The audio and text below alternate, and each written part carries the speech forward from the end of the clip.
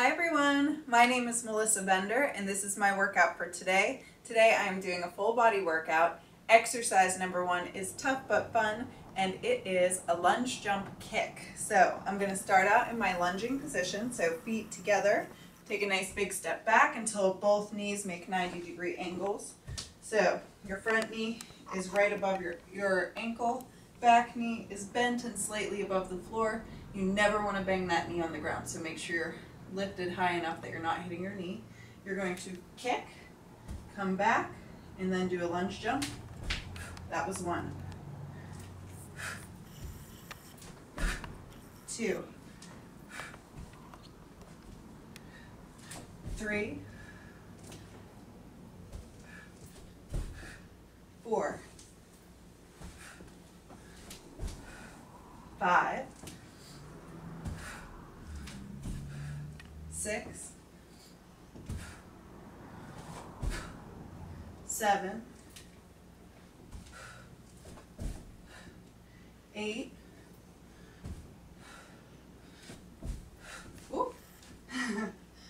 nine, losing my balance now,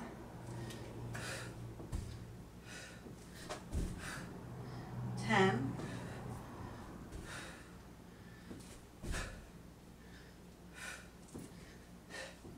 eleven,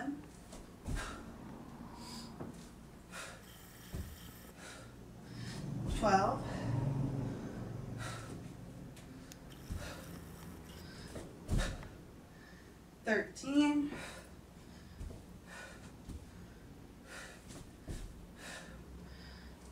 That was 14.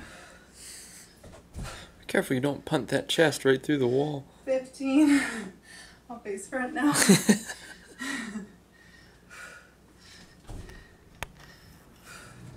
Sixteen.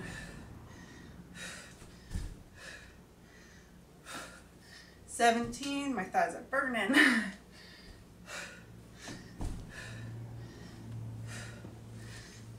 Eighteen.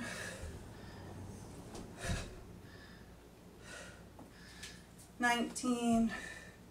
Well, nineteen.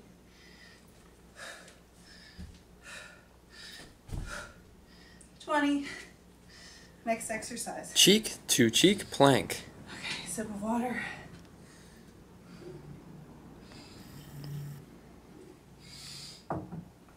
Okay, for this exercise, I'm going to go into my plank position. Hands are going to be clasped, elbows directly below my shoulders. Core pulls tight, body forms a nice straight line, and I'm going to twist to that my right hip down and then my left hip down. That's one, two, three. Come back to plank in between each one. Four. Five. Six. Seven. Keep the core tight. Eight. nine, ten, eleven, twelve, thirteen, fourteen, fifteen. 12, 13, 14, 15, 16, 17, 18, 19, last one, 20. Next exercise. You're gonna roll over and do crisscross leg lift. Okay. So for this one, low back is going to stay on the ground. Core pulls in tight. So pretend you can press your belly button to the ground. But make sure you can still breathe. Arms are going to reach up into the sides of your head. And you're going to extend your legs, keeping them lifted, core engaged. You're going to crisscross. So bring that foot toward your hand. Stretch it as far up as you can, and then you can reach and tap. That's one. Down. Other side. Two. Three. Four. And it's a controlled movement.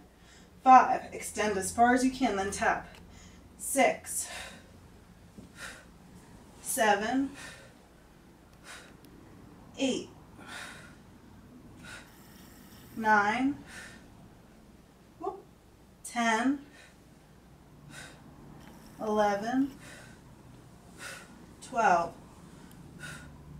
13, 14, 15, 16, 17, 18, 19, last one, 20. Next exercise. Frogger hip thrust. Okay, so for this one, I'm going to use a weight. The weight is optional if you're a beginner, or if you don't have a weight, you can start out body weight. Um, also, you can even use soup cans if you want to add a light weight. What I'm going to do for this one is get my dumbbells set up right here, and you can use one or two. Just depends on the level of challenge you're looking for. If you're using one, instead of grabbing it in the center, pick it up on both sides like this, okay? So I'll show you from the side. You get into your frogger or plank position, core pulls in tight. Jump your feet forward, almost like you're doing a burpee. Drop your butt down, lift your hands. Then once your back is nice and straight, you're gonna grab your weights or your weight, or just stand up. Squeeze those hips tight. That's one. So back stays straight to bring the weights back down. Hands come to either side. Jump it back. That was one.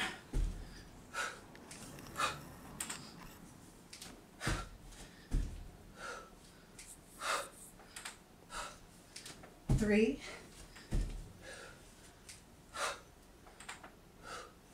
That was four.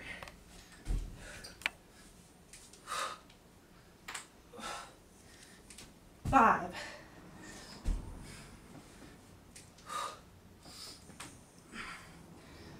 That was six. Oops.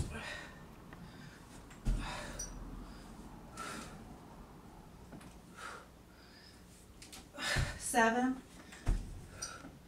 Push through the heels to stand and squeeze those glutes. That's eight.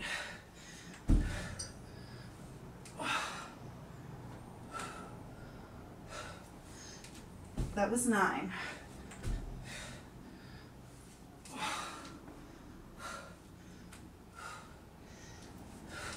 Ten.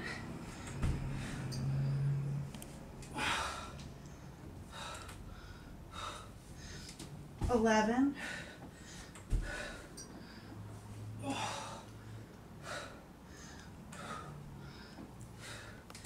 Twelve.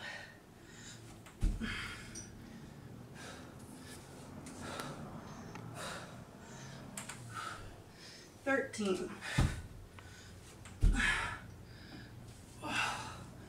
14.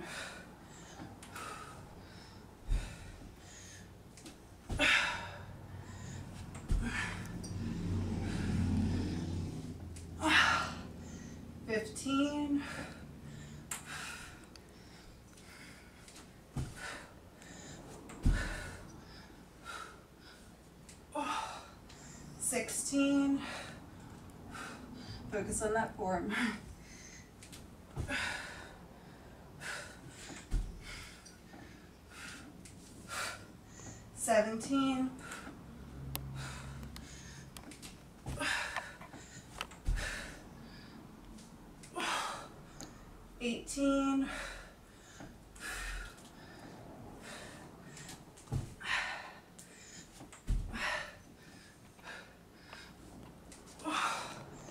19.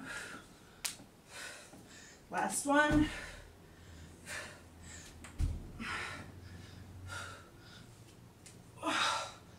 Twenty. Jump it back. okay, next exercise. Side plank, heel press. Okay. So, a quick sip of water.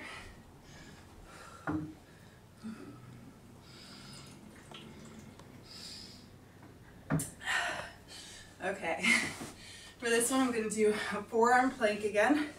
So, my palm will be flat. If you're more comfortable, you can fist it. But I like the extra support. Um, feet stack, or you could put one behind the other. And what you're gonna do is lift into your side plank, hold your core in tight, elbow pointing to the ceiling the whole time, That helps keep you from leaning forward. And you're going to lift, bring it in, press your heel. That's one, two, three, four, five, six, seven, eight. Press nine, ten, eleven, twelve, thirteen, fourteen, fifteen, sixteen, seventeen. Pull that core tight. 18, 19, 20. Same thing on the other side. So here we go. Forearm plank. Um, and if moving your top leg is too much for you right now, start out by holding your holding your side plank. So you can hold it either with stacked feet or one in front of the other, and that'll start getting your obliques used to working. So here we go. Lift and press that heel. One, two, three, four, five, six, seven, eight, nine, ten, eleven, twelve, thirteen, fourteen, fifteen, sixteen, seventeen, eighteen, nineteen, and 20. Next exercise. And side lunge lift. Okay, so back to standing for this one. I'm gonna just move these out of the way.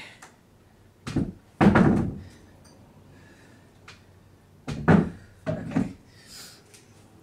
So for this one, we're gonna be moving side to side. So starting with your feet together, big step left into a side lunge.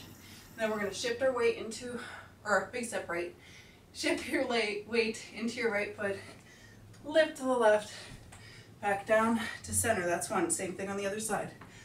Big step left, butt reaches backwards, knee behind your toes, shift, lift, back to center. That's two. Three.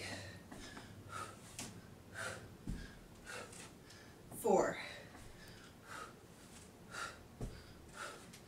Five. Six. Seven. Eight. Nine. Try and keep your knee from folding inward.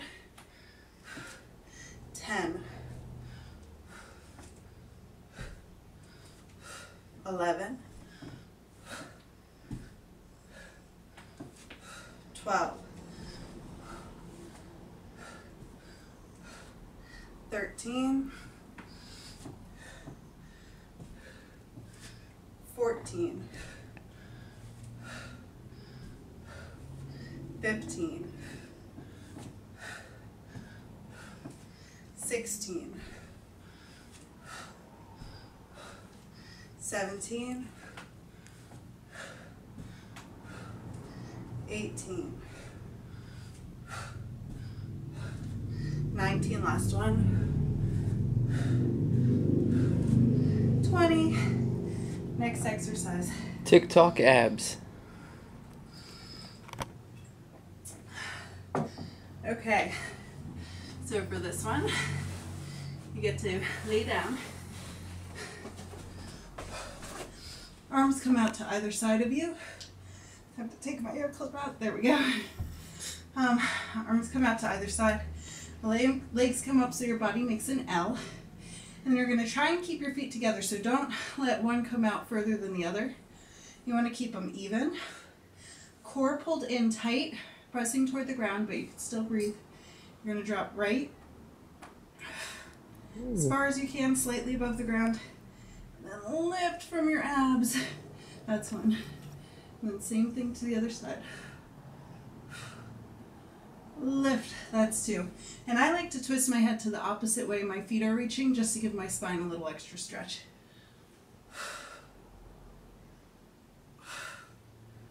Three. So I never rest my feet down, but I do pause slightly above the ground for a second to really challenge myself. Four.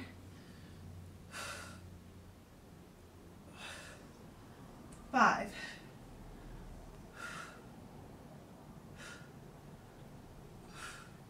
Six. And try not to push too much through your arms. Seven.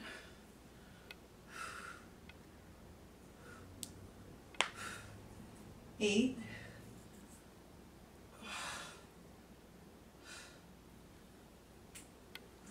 Nine.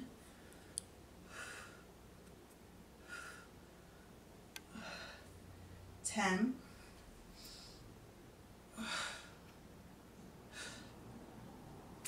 Eleven.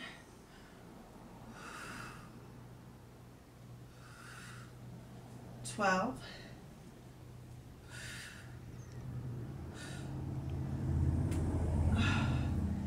Thirteen.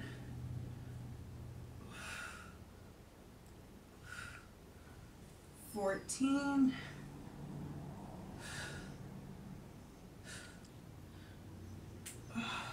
Fifteen.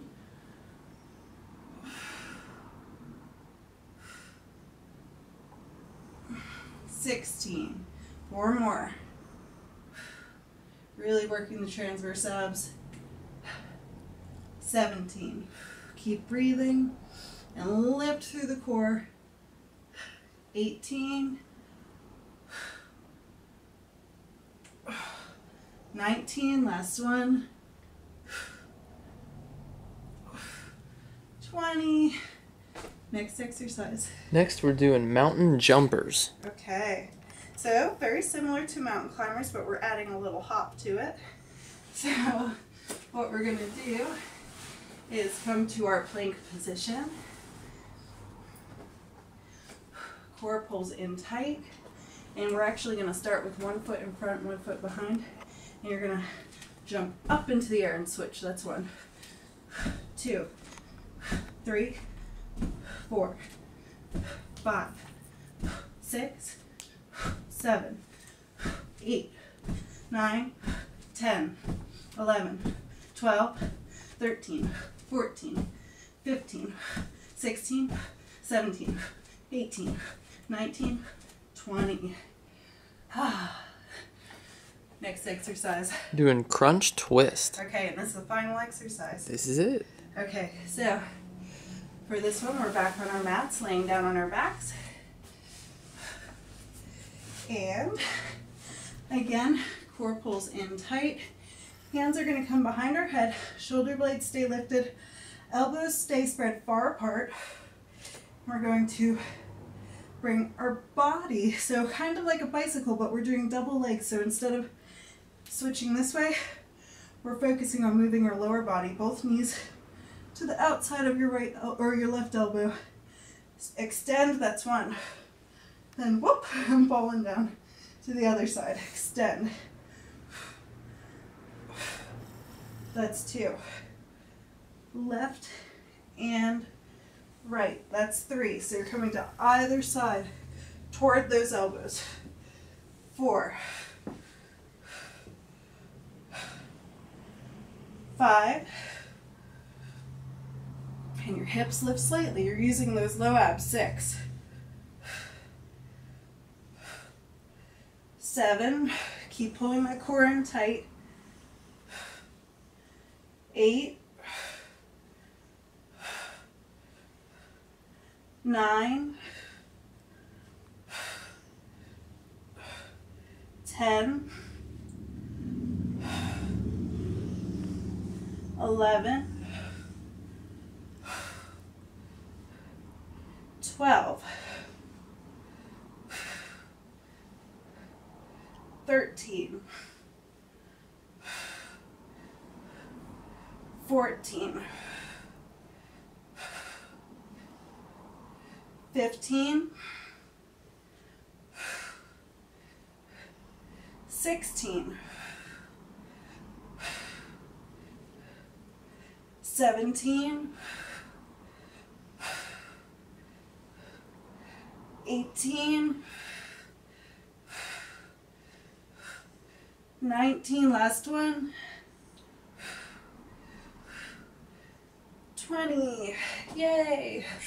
I felt this. Okay, you have such enduring abs. Thank you. So jealous. Oh, it's taken a lot of work to get there. Um, but you guys can see all of that work on my blog, benderfitness.com. It is every single workout I've done in the past year and a half to stay in shape and get in shape in the first place. So check it out. Um, plus recipes and tips for healthy living. So I hope to see you there and I'll see you tomorrow with a brand new workout. Bye guys.